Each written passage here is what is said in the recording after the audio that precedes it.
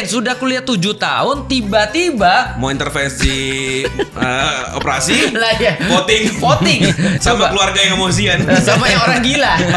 Coba bayangin antum. Kalau eh, eh. Pertanyaannya apakah negara ini dianggap lebih rendah daripada kedokteran? Enggak. Lebih lenggap eh, lebih rendah daripada teknik sipil? Enggak. Padahal negaranya harus memfasilitasi kedokteran, teknik sipil dan segala macam. Iya. Aku pikir apa orang-orang yang belajar ini nggak tersinggung nih dengan waktu-waktu yang sudah digunakan. Menurutku ya itu yang salah satu aku protes banget dengan demokrasi itu.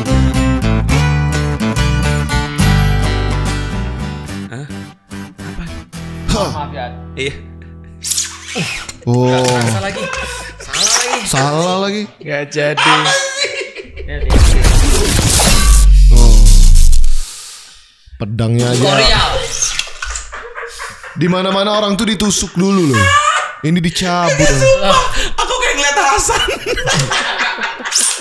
Gini ya. Ciu ciu ciu ciu. Iya dia tuh gitu kayak kalau habis ngeparodiin gitu nah, misalkan ya apa aku gini sih kayak kayak kayak kayak, udah paling iya gitu ya kan kan kan dia nusuk ya. Iya. Kenapa dia yang habis napas? Iya, antum betul gitu. Ya, ya, ya, gimana nih? Aku udah pakai topi ini berarti aku udah serius. Eh, Apaan? ya ini kan topi perlawanan. Antum harus ngisi pakai itu dong. Oh jangan lah. Berarti antum selama ini dakwah tidak serius ya? iya benar. Gak pakai itu soalnya. Tapi Iya. tadi kalau misalkan ternyata ada pemimpin kocak kayak di Amerika terus dia kepilih gitu. Iya, aku Ah. tahu. Nah itu kan berarti karena ada banyak orang-orang tertentu yang memilih kan di endorse lah Iya, ibaratnya iya, iya, gitu. Nah betul. kadang jujur dulu ngerasa nggak, kok bisa sih ini orang gue kenal loh. Iya. Maksudnya dia tuh orang, ya gue kenal gitu. Kok Iya. bisa dia milih Ya. mendukung gitu Iya. dengan Iya. Dengan seluruh apa ya followers Daya yang dan banyak. upayanya dia. Iya, Dia promoin gitu. ke mana-mana Nah, gitu. gitu. Iya, Ya, betul. sama dengan orang yang ada yang beli ini. Apa itu? Ini siapa yang beli? Reja itu. lah siapa lagi? iya, baca iklan kan dia. Iya. Reja yang beli tapi kan aku yang main. Tapi minimal ini kepake ya. Iya kepake Nggak tadi. kepake lah. Untuk gimmick. Iya. Kalau gimmick yang itu nggak kepake. Jedai. Tuh. Jedai. Jedai. Antum nggak nonton ya? I- kemarin tuh aku lihat di story Eh. ada yang nge-share. Apa? Itu berisik banget sih pasti di audio tuh serau serau. Yang mana? Iya jadi ada satu paslon lah Heeh. yang bikin event. Eh. Eventnya tuh angkat tangan ya aku. Gila itu tuh kayaknya miliaran. Ya, aku tahu tuh. Rupiah Iya biayanya. yang bener-bener gila sih itu. Hmm. Secara kualitas itu bahkan be- belum pernah ada yang kayak gitu-gitu mau Entertainnya ya. entertain dan Iya. seluruh ini dia pakai seluruh multimedia Ya, yang selalu multimedia yang cutting edge. Iya, nah itu terus kayak bilang, wah, ya itu kayak segitunya ya orang mau mau menjabat tanda kutip ya, Iya. sampai penuh dengan seluruh gimmick-gimmick Justru gitu. itu yang aku lihat tuh sebenarnya. Jadi jadi gini ya, karena kan kita kan juga orang-orang ini bukan orang yang kita nggak kenal. Hmm. Orang-orang ini adalah orang-orang kita kenal, orang-orang kita tahu, orang-orang kita paham. Hmm. Dan nggak jarang orang ini ya berinteraksi juga dengan kita. Ya. Nah, ketika aku eh, tahu dan ngelihat mereka, aku semua ngerti. Hmm. Karena ada beberapa yang di antara mereka bilang ke aku, Ustadz, Hmm. this is just a business. Oh, jadi sebenarnya hati kita mungkin bukan di situ. Dia ngomong begini, apa bedanya dengan saya terima endorse produk? Oh. Coba misalnya contoh ya. Contoh dia nggak pernah pakai eh, baju YN YN eh, YNID misalnya. Eh, tapi kemudian sini Mas. Ini kita memerlukan antum mana eh, jas jas antum Sini, Mas. mana Mas? Jas antum Mas. Cuma masuknya lihat belakang. Udah, yuk masuk Sambil sini. joget. Ah. Dia kayak sini gini mirip sih sini. dia. Iya betul. Mirip sih dia. Enggak, mirip. Ah, iya. Mohon maaf ya Mas. ya. Apa? Gak apa lah sini aja tat daripada ngelangkah-ngelangkah. Salah buat bilang. Ya, jadi eh, jadi ada di antara mereka tuh ngomong ke aku. Jadi apa beda dengan kita endorse produk Iya, saat? iya. Misalnya kalau kita pakai baju YNID kan memang setiap hari ya. Ya, tapi ada karena- orang-orang yang nggak pakai baju YNID misalnya, tapi mereka demi untuk eh, dapat uang misalnya, eh ini aku punya produk endorse dong gitu. Maksudnya Ya, apa ya. bedanya kata mereka? Ya, beda lah. Nah, kata mereka sama. Iya, karena sudut pandangnya bisnis, Iya, bukan karena sudut sudut pandangnya pandangnya Iya, politik. memang tapi ya oke. Paham. Cuman kan secara bisnis pun itu merusak. Ngerti gak sih? Contohnya Ya. nih. Antum kira produk-produk yang nggak bermanfaat tuh nggak merusak? Lah iya kan maksud aku Ah. gitu. Jadi kan Tersegmen kan Nggak, bisa, maksudnya. bisa aja kan nggak kayak gitu kan? Ya. Eh, ya udah eh, aku nggak pernah pakai produknya. Ya. Ini juga nggak bakal aku pakai nih. Gila, siapa Ah. juga pakai gini. Betul. Tapi karena dibayar mahal aku aku bisa. Betul. Itu kan berarti berarti kan bakal se- si si orang tadi pas bisnis juga kayak gitu dia. Benar. Bener. Benar. Artinya artinya dia dia tidak meyakini dengan apa yang dia promoin sendiri Hmm. dan kemudian dia tahu bahwasanya dia mempromokan sesuatu yang mungkin salah. Contoh misalnya ini dia bilang bagus padahal enggak. Iya. Ya kayak ada orang kayak gini lah misalnya contoh yang sederhana aja ya. Ada orang di endorse ke satu restoran. Iya. Ya. Bisa terus dia ditanya karena dia udah dibayar di restoran itu dia bilang gimana rasanya? Wah ini gila gue mau nangis nih rasanya nangis banget nih. Padahal- Tiba-tiba ada orang ke sana ternyata biasa aja itu kan merugikan. Iya. Nah apalagi dalam level yang lebih parah Iya, kayak bener. pilpres. Dan bahkan di level bisnis pun tat, Iya. udah banyak orang nggak mau kayak gitu. Betul. Aku kenal banyak teman-teman yang endorse endorse gitu. Iya. Dia nggak nggak mau karena dia tahu bahayanya ntar bisa dipenjara. Ini Temen kan so- Antun, temen Antun ditawarin berapa dulu? Nggak bukan yang bukan yang politik. Mungkin kurang. Yang yang misalkan apa produk gitu. Itu produk, kan kalau ya. misalkan orang udah pakai di mukanya, Iya. luka-luka segala Iya. macam, kan dia yang kena kan. Betul, Bisa dituntut hukum juga Berarti gitu. kalau misalnya mohon maaf ya, kalau misalnya yang ngendorse misalnya pemimpin misalnya ya. Terus Nah, itu. pemimpinnya berbuat salah misalnya, korupsi kek atau dia kemudian kena salah kek. itu? Influencer bisa dituntut nggak tuh? Enggak. Nah, kalau secara hukum enggak. Secara hukum nggak ya, tapi secara etika bisa. Ya secara etika bisa dibully tapi Jadi ketika aku ngelihat kayak gitu sih, ya, eh, sekali lagi kita menegaskan bahwa kita nggak ada urusan sama sekali dengan tim pemenangan mana pun. Ya, betul. Itu Bener. yang teman-teman harus tahu. Betul. Jadi teman-teman kait-kaitin loh ya. Banyak Iya. tuh Tat. kita tuh Iya. video Di komen, foto-fotonya komen. Iya. di screenshot di apa wah ternyata Ustaz Felix dukung A dukung Ya B dong. biarin aja. Oh, biarin. aku yakin walaupun kita udah ngomong gini, pasti lebih banyak orang yang bilang, wow bilang aja lu kalau mendukung tim ses, eh sorry paslon yang ini Iya. dan segala macam yang itu, bodoh amat. Kita nggak ada urusan ya. Atau bahkan udah nyimpul-nyimpulin, oh ini mah orang-orang ini nih golput nih, bla bla Iya, bla. betul. Maksud gua tuh kita tuh nggak nggak ngomong bukan berarti kita tuh ada Iya. sesuatu udah gitu. Selama hidup saya, saya tuh tidak pernah tidak memilih. Ush. Saya selalu Bener. memilih dalam bener, hidup bener, saya. Bener, bener, Bener ya kan? Memilih ada pilihan kan? Iya, betul. bener. Nah, artinya ketika ketika ke dalam kasus itu ya, Hmm. aku aku setelah melihat eh, semua kayak gini, dalam hati aku agak muak serius. Hmm. Bukan muak sama orang-orangnya tidak, karena itu tetap temanku, itu tetap Iya. bagian daripada matu kita. Tapi aku tuh muak tuh dengan apa tau nggak? Aku bilang gini, andaikan bahwasannya pada ujung-ujungnya setiap hal urusan eh, misalnya apa pun ya, termasuk pilpres Hmm. ini adalah soalan endorse, maka yang jadi itu yang paling kaya.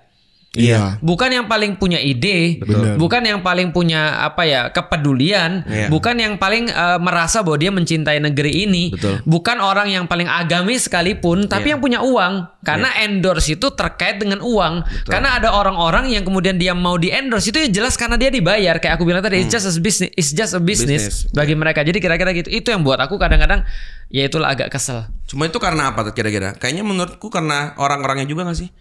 Karena orang-orangnya juga maunya ya begitu. Ya. Kan kemarin kita udah bahkan ngomongin soal Iya. caleg kemarin itu. Iya. Orang-orang tuh clear langsung. Caleg itu memberikan sembako dan lain-lain karena warganya yang minta. Iya. Maunya- Masa kampanye ide doang Iya. Ya, gitu. eh, apa kalau kalau kata orang Palembang eh, angin angin Oh, bae. angin bae. Eh, uap bae. Iya, Jadi kayaknya emang masyarakatnya gitu emang udah udah kayak gitu. Iya, karena dibiasain oleh hal yang kayak tadi. Ah. Makanya dalam hal ini uh, kan ada beberapa ulama ya. Kadang kan ada ulama yang uh, apa kayak guyonan ambil aja duitnya, jangan pilih orangnya. Iya. Tapi aku lebih sepakat dengan yang ustadz yang mengatakan jangan ambil uang dan jangan ambil uh, duitnya. Or- jangan pilih orangnya Eh, sekalian. sorry, jangan ambil pilih uangnya jangan dan pilih. jangan pilih orangnya. Iya, iya. Karena Ini sebenarnya agak anomali ya. Apa? Anomali. Kita melihat sekarang ada fenomena pengemis, Penge- pengemis. tapi pengemis ngasih uang, Oke, paham. Ya. tapi mengemis suara maksudnya Iya, kan. iya, iya, kan iya, gitu ya. Pengemis suara itu kan ngasih uang. Iya iya iya. Bukan pengemis tepatnya. Pembeli ya. Dia pembeli, jual Iya. beli. Oh, kalau Iya. itu interak interak eh, apa itu namanya itu transaksional. Transaksional. Iya, betul. Dan yang kedua itu menjadikan seolah-olah bahwa paslon itu kayak produk. Jadi sadar nggak sih sebenarnya influencer tuh menjadikan itu sebagai produk. Iya, Iya. iya. Gitu loh. Kenapa? Karena ya sama kayak orang endorse produk kan. Hmm. Dia bilang itu. Jadi ya aku nggak pakai nih, tapi karena ini aku di endorse ya udah itu jadi produkku. Jadi aku pikir ya ya berarti cuma segitu aja sih cara berpikir kita tuh. Dan bener itu aku tuh ngeliat ya kemarin tuh kasus ya para peting ya para apa namanya kayak alumni ya guru besar guru besar Iya. Oh, di iya. universitas itu kan ngeluarin statement Iya. intinya mengkritik lah eh, satu dua hal. Situasi komennya sekarang. Rob ya Allah komennya. Iya betul. Apa sih nggak jelas kalian Iya, ini betul. gua- udah ngapain guru tuh gini-gini belum Iya. kasar-kasar banget. Betul betul. Giliran artis Betul. Lihat tuh si A dukung dia kok, si B dukung dia. Iya, ha-ha. Gila kali gue maksudnya lebih berharga. Memang mereka gue nggak bisa nyalain artisnya. Betul. Karena rakyat maksudnya kita tuh juga masih kayak gitu. Itu juga lebih yang- percaya suara artis daripada Betul. suara orang-orang yang punya kompetensi. Benar. Ustadz misalkan ngedukung A, ih parah bobo Iya, agama, ih parah. Ih, ma- ma- apa guru besar tadi, ih dibayar berapa lu gini-gini. Jadi Benar. Ketika profesinya itu sesuatu yang menurut kita tuh polisi yang mulia gitu ya, eh, dosen apa tadi kan pengajar, guru, gitu ya. ustadz. Bahkan ustadz. Itu Iya. nggak didengar. Nah, Iya. giliran artis, nah dukung dia aja. Itu artisnya dukung dia kayak. Iya. What kata gue? Iya. Sih ini orang-orang? Nah itu itu dia eh, yang yang kita selalu pertanyakan. Jadi kan kata orang tuh gini, ya wajar lah Hmm. dalam sistem demokrasi kita tuh karena orang-orang kita tuh masih belum banyak yang berpendidikan Hmm. atau masih sedikit yang berpendidikan. Jadi mereka tuh perlu insentif kayak mau dikasih kayak tadi Antum bilang, masa lu kampanye cuma cuma bawa janji doang, mana dong kasihlah baju minimal atau kasihlah apa minimal gitu lah kayak gitu-gitu. Nah sehingga mereka bilang demokrasi itu akan ber- eh, berharga bagi orang-orang yang sudah pintar. Tapi sebenarnya gini ya, kalau kita lihat ya, kalau kita eh, bicara dengan logika yang sama, orang jadi gini, negara itu kan digunakan untuk mengatur ya. Ya. Aturan tuh digunakan untuk mena- mengatur. Pemerintah tuh kan digunakan untuk mengatur ya. Lah kalau orang yang pintar-pintar semua emang mau diatur? Nggak perlu aturan kalau orang pintar-pintar semua. Justru aturan tuh digunakan karena nggak semuanya orang pintar. Ya, ya, nah benar. permasalahannya kalau nggak semuanya benar, orang benar. pintar, kok bisa lu menyamakan antara satu profesor suaranya itu sama dengan satu orang yang Gila bahkan. gila, orang DGJ. gila itu difasilitasi memilih loh. Memang orang gila itu dikasih kesempatan milih. Jadi Nah, coba. nanti kalau ada orang gila seribu, profesornya satu yang mana orang Nah gila. makanya kan ada ada orang ada orang mana. Enggak jadi kan gini. Ada, ada ada orang ada orang bilang begini ya. Ada orang bilang gini, "Ustadz, makanya Ustadz kita tuh harus coba nih gimana caranya supaya pasangan kita yang kita nih menang, supaya kenapa? Supaya ini jadi lebih baik." Bro, masalahnya nggak begitu, Bro. Masalahnya adalah orang-orang gila satu, orang-orang yang nggak sekolah satu, orang-orang yang stres satu gitu ya. Itu sama dengan suara satu orang yang pinter. Artinya adalah apa? Mendingan kalau logiknya adalah lu ciptain dulu orang yang pinter sekalian banyak. Iya. Iya, karena Tapi kan nggak bakal berhasil. karena kemudian kan yang menang dan kalah atau yang benar yang salah itu kemudian apa apa kan gimana ulangi yang menang yang- yang ngomong kalah, satu kata yang yang susah? benar yang salah. Oke. Itu tidak ditentukan oleh isi kepala kan, Ah, tapi jumlah isi duit. kepala. Jumlah Oh, kepala. Jumlah kepala. Dan dan kepala yang dijumlahkan duit. itu itu kan Isinya dinilai beda-beda. sama. Iya. Walaupun isi kepalanya beda-beda tadi ada yang isinya profesor, guru besar. Iya. Ada yang tadi ODGJ gitu ya. Ya, orang dengan Gangguan jiwa. Gangguan Gangguan jiwa. lah art- artinya kalau kalau kita lihat balik lagi ke situ ya, coba antum bayangin ya, coba antum bayangin. Eh eh, jadi gini, fair nggak sih kalau seandainya seandainya kita buat rumah, rumah rumah aja, nggak usah buat negara ya, kita buat rumah aja. Kita buat rumah, kita mau buat tiga lantai dengan spesifikasi tertentu, dengan kemudian desain tertentu dan segala macam yang kita sudah lihat bagus banget ini bakal bisa memfasilitasi ini dan itu dan segala macam. Oke. Ternyata untuk cuma ngomong tentang eh, apa ya strukturnya aja, ngomong tentang fondasinya aja, terus kita voting. Fair nggak? Padahal tuh ya, Ada ahlinya ya. kawan-kawan kita itu yang belajar teknik sipil itu ya, berapa tahun dia belajar teknik sipil, bro? Bener. Gitu kan ya? Yang lebih Oke, tahu ya. Mau mau yang lebih parah, kedokteran. Uh. Kedokteran itu ya, Hmm. ada berapa? Aku pernah lihat itu buku kedokteran Sobota tuh tau nggak? Iya. Itu segini tuh. Bener-bener harus ditulis ulang kadang. Masuknya mahal, belajarnya setengah mati, itu ngafalin itu. Kalau dia pakai ngafalin Quran, kayaknya lebih cepat ngafalin Quran daripada ngafalin itu. Serius tuh. Nah, coba bayangin, sudah kuliah 7 tahun, tiba-tiba Mau intervensi eh, operasi? lah ya, Voting. voting. Sama Coba keluarga yang emosian. sama yang orang gila. Coba bayangin tuh. Kalau eh, eh. Pertanyaannya apakah negara ini dianggap lebih rendah daripada kedokteran? Enggak. Lebih lenggap lebih rendah daripada teknik sipil? Enggak. Padahal negaranya harus memfasilitasi kedokteran, teknik sipil dan segala macam. Aku pikir apa orang-orang yang belajar ini nggak tersinggung nih dengan waktu-waktu yang sudah digunakan? Menurutku ya itu yang salah satu aku protes banget dengan demokrasi itu. Kenapa? Karena demokrasi itu menyamakan aku dengan orang yang nggak belajar, Iya, menyamakan aku dengan orang yang nggak nggak ngapa-ngapain. Dan dalam sistem demokrasi yang sekarang ini yang terjadi influencer tadi itu Bener. siapa yang punya duit banyak akhirnya dia yang menjadi benar. Benar. Karena antum bilang tadi, oh kalau contoh misalnya dia dukung pasangan ini, ada ustadz nggak dukung pasangan dia bilang, ah itu ustadz memang dari dulu aku nggak suka, udah aku duga tuh ada sesuatu yang salah pada dia tuh. dia nyampein tuh nggak sesuai dengan hatiku. yang Hatiku. benar tuh kayak gini nih. Loh, kok tiba-tiba ada orang nggak belajar agama, tiba-tiba menjadi juri eh, orang-orang yang sudah belajar agama. Nah, tiba-tiba ada orang-orang artis yang misalnya mungkin nggak ngerti apa-apa soalan agama, dianggap lebih daripada orang yang belajar. Itu menurutku nggak adil sih, Iya, nggak iya. fair. Setuju sih. Kalau aku sekarang ngelihatnya udah mulai banyak orang juga yang mulai geleh tar. Iya, jelas. Aku tuh juga tahu kok ini ada yang salah dengan Gela cara segala macam. Maksudnya udah lelah lah. Eh, Apa- Gela tuh jijik loh. Iya maksudnya Iya. dengan aku tuh udah maksudnya udah paham ada Iya. yang something wrong ini dan Muak kita muak. udah muak dengan Betul. semua ini katanya. Kita tuh dihadapkan dengan tiga misal paslon segala macam yang kita juga nggak milih kok mereka tiba-tiba mengajukan diri. Jadi kayak pilihannya sudah dipilih segala macam tapi juga nanti ada yang politik-politik uang yang Betul. menang juga siapa belum tentu kita menang juga. Betul. Ngerasa ada yang salah. Tapi mereka tuh nggak punya opsi lain seolah-olah ya kalau nggak ini nggak ada lagi cara lain. Aku mereka sangat nggak punya role model tadi. Iya, makanya aku sangat ngerti dengan kata-kata eh, dengan kata-kata mereka bahwa saya ayo berpartisipasi lah, ayo kita harus mencoba dan segala macam. Problemnya bukan itu. Makanya kan baru tahun ini kayak ada Panji kan. Itu kan ngomongannya kan aku pikir mungkin kalau dulu beberapa tahun yang lalu mungkin Panji nggak kayak gitu ya. Ya, kurang tahu sih. Kurang tahu ya, tapi memang dia kan senantiasa Iya, kontroversial. dia selalu ya. Ah, tapi kan baru kali ini ada kata-kata yang diingat sama orang, aku nggak milih dan aku tahu alasanku. Ya. Dan bagi bagi bagi kalian orang-orang yang nggak tahu alasan tapi milih itu lebih buruk daripada Iya, orang-orang betul. yang nggak milih tapi tahu alasannya. Dia Iya. bilang. Makanya dia bilang kasih Karena aku alasan dia dong. nggak memilih pun karena uh, alasan gitu. Betul. Nah, Nah, itu maksudnya. Nah, sekarang kan tidak diperhatikan seperti itu kok sebenarnya. memilihnya bukan karena alasan juga. ya. Memilihnya bukan karena alasan, nggak memilihnya juga bukan karena alasan gitu Iya. maksudnya. Nah, yang penting tuh reasonnya sebenarnya. Itu Iya. yang menjadikan kita tuh peduli. Sebenarnya kalau ada orang, mohon maaf ya, ada orang ya, kayak tadi antum bilang. Contoh nih misalnya, aku banyak ketemu orang, serius aku banyak ketemu orang, yang Iya. mereka nggak yakin dengan apa yang mereka promoin. Hmm. Memang Tapi mereka bilang it's just a business. Pertanyaanku, aku sering tanya pada mereka, coba tanya hatimu, kamu peduli nggak sih sebenarnya pada negeri ini sebenarnya? Iya. Atau kamu cuma peduli pada bisnismu aja? Oh. Jadi yang paling pertama yang maksudnya ada hal yang minimal harus Ya. dipikirkan itu tanggung jawab ketika dia melakukan sesuatu. Oke. Dan seminimalnya lagi dia harus eh paham produk knowledge-nya gitu. Wis, berarti presiden itu produk. Iya kalau kita bicara Iya. satu dua tiga ini sebagai sebuah produk itu dia nggak hanya sekedar lihat berapa yang dia dapat dari produk ini ketika mengendorse Hmm. tapi juga ngelihat produknya ini kayak apa sih Selling pointnya apa? jangka gitu ya. panjangnya kayak gimana Ya.